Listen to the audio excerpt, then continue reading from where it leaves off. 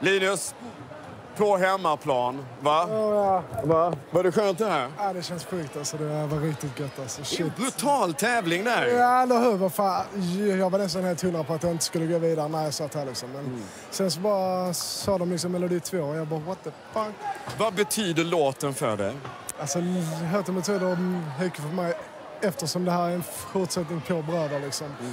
Att man ska liksom kunna släppa allt skit man har gått igenom liksom, och bara försöka blicka framåt och hade Du har ju haft det tufft privat liksom. Eh, När man ser dig här på scenen, oerhört stark och lugn. Fan vad nice att säga så, tack. Och nu är du i final. Ja, det känns Du awesome. verkar älska andra chansen. Det var ju så här förra gången också ju. Ja men eller hur, alltså, här hör jag hemma liksom, att det ska vara så jävla jobbigt. Du, eh, festa kungligt ikväll. Det Så ska ses vi i Friends. Tack så mycket. Tack. Fan, Bra. nice.